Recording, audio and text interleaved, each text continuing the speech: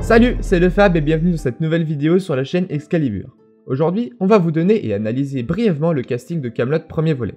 Nous avons croisé toutes les informations possibles pour avoir des informations fiables en allant voir les agences des acteurs et les sites spécialisés. Mais nous connaissons Alexandre Astier, il est capable de nous jouer des tours et de garder les informations bien cachées. Et est donc possible qu'il nous manque certains personnages. Réponse le 25 novembre au cinéma. Pour commencer, qui est de mieux qu'Alexandre Astier alias Arthur? Bien évidemment, il sera de retour pour tenter de récupérer son trône, et pourquoi pas trouver le Graal, bien qu'on imagine qu'il ait déjà bien trop à faire avec la première tâche dans ce premier opus. Comme je l'ai évoqué dans une précédente vidéo, on pense qu'il ira voir Alain Chabat alias le duc d'Aquitaine pour demander des troupes, on le voit notamment dans le teaser. Il est à noter que Géraldine Nakache, l'interprète de la duchesse d'Aquitaine, sera aussi présente dans le casting du film. Les discussions avec le duc risquent donc d'être endiablées. Arthur retrouvera peut-être Gauvin, interprété par Aurélien Porteau, et Lionel de Gaulle, interprété par Étienne Fag. Ces deux personnes étant présentes autour de la nouvelle table ronde. Malheureusement, son comparse Simon Asté qui incarne Yvain n'a pas l'air de faire partie du casting, d'après toutes nos sources. Les deux compères du clan des petits pédestres ne seront donc peut-être pas ensemble dans ce premier volet. Mais que serait Arthur dans ce film sans son ancien ami, aujourd'hui rival, Thomas Cousseau, alias Lancelot? Il fera également partie de l'équipe pour rivaliser avec la résistance et imposer son règne. Mais sera-t-il encore le pion de Méléagan Eh bien c'est fort probable sachant qu'on le verra bel et bien dans ce film, joué par Carlo Brandt. Du côté des salopards, terme venant d'Alexandre lui-même, on pourra trouver Antoine de Caunes, alias Dagonet, et François Rollin qui incarne le roi Lot. Pour l'instant, nous n'avons aucune nouvelle d'Alexis Hénon qui interprète le seigneur Galcin. Aussi, on peut voir Père Blaise joué par Jean-Robert Lombard, vêtu de noir, à côté de Dagonet et Lot. Un symbole particulier est présent sur ses vêtements.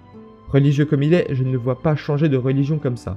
Peut-être que Lancelot l'a obligé à rester dans son camp pour écrire sa légende, mais qu'au fond, Blaise reste un allié d'Arthur. Mais comment ne pas évoquer chez les salopards Sting? Non, non, mais c'est pas exactement ce que je voulais dire. Comment ne pas évoquer la grande surprise du teaser, Sting, qui sera dans le fameux camp des salopards qu'a évoqué Alexandre Astier sur Europe 1. On vous laisse écouter. Il y a bientôt le film, très attendu. On a vu une bande-annonce il y a quelques semaines avec plein d'acteurs, euh, Alain Chabat, Guillaume Gallienne, Christian Clavier. Et puis une petite surprise, on aperçoit Sting dans cette bande-annonce. Oui. Euh, Qu'est-ce qu'il vient faire dans cette histoire, Sting? Euh, Qu'est-ce que je peux vous dire? Je préfère vous dire qu'il n'est pas du côté des gentils. Il fait un salopard. Mais euh, quel salopard, je ne sais pas trop vous en dire, mais oui, oui, il n'est pas du côté d'Arthur du tout. Ça, c'est sûr. Notons qu'il risque d'avoir des scènes communes avec le roi Lot car on voit des photos de la carte qu'il a l'air de poinçonner dans le teaser à côté du roi Lot dans une image du magazine premier. On va rester du côté de l'ennemi en parlant de Mévanoui jouée par Caroline Ferru. Alors je ne sais pas si elle est vraiment du côté de Lancelot, mais plusieurs éléments peuvent le montrer. Déjà rappelons que dans la série c'est la femme de Caradoc. Or ce dernier est pourchassé par l'armée de Lancelot pendant la résistance. Sa femme n'aurait donc pas le luxe ni la priorité de se vêtir ainsi. Donc elle aurait probablement quitté Caradoc afin de profiter du pouvoir. De même pour le jury consulte joué par Christian Clavier, vêtu intégralement de noir avec une sorte de mauvaise intention dans son regard. Tout à l'heure, j'ai évoqué Caradoc. C'est donc une bonne transition pour parler de ce personnage interprété par Jean-Christophe Ambert. Il sera en compagnie de Franck Pitiot, l'acteur de Perceval. Les voir gérer les semi-croustillants dans leur repère souterrain aperçu dans le teaser et évidemment dans Camelot Résistance apportera sûrement une bonne dose d'humour au film. Évidemment, ils feront partie de la résistance.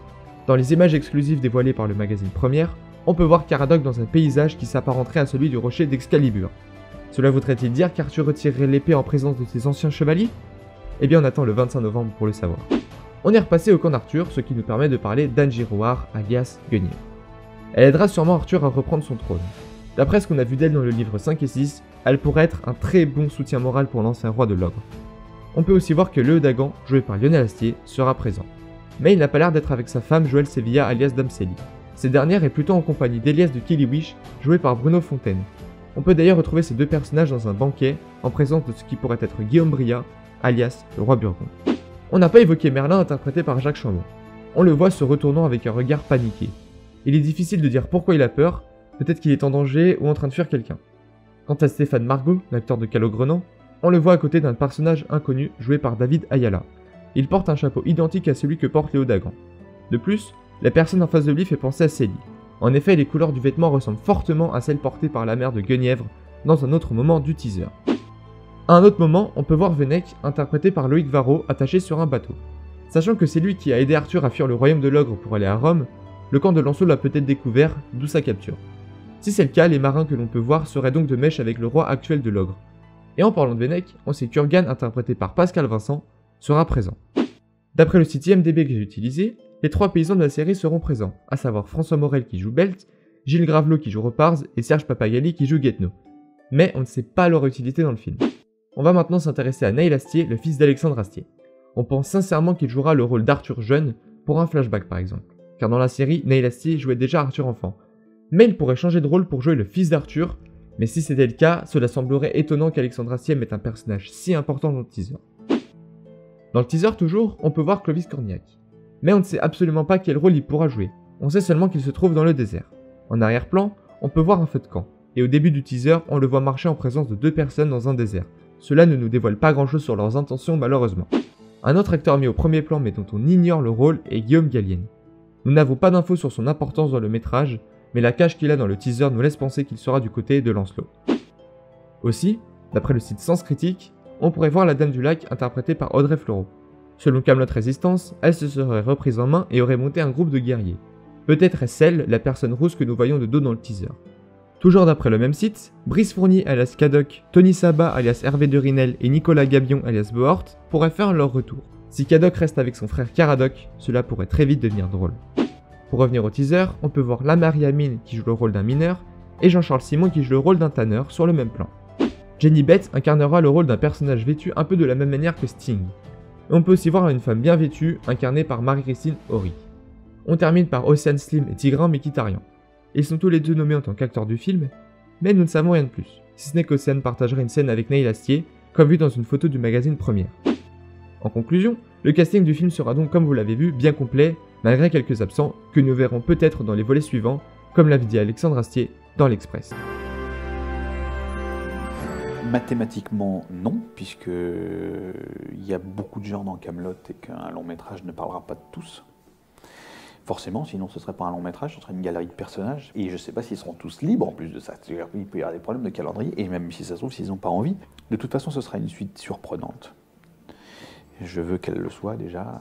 J'essaye de surprendre depuis le début, je vais continuer. Et puis c'est une trilogie. C'est pas un film. Donc il y a peut-être des personnages qui n'arriveront que plus tard. Si vous avez aimé la vidéo, n'hésitez pas à laisser un pouce bleu et à vous abonner, ça nous aiderait beaucoup. N'hésitez pas non plus à aller voir notre site, sur lequel nous allons d'ailleurs bientôt publier un article exclusif sur une interview de Joel Sevilla, en live sur le groupe Facebook Camelot Ma Religion, qui a répondu à quelques de nos questions en direct. En attendant, on se retrouve la prochaine fois pour une nouvelle vidéo.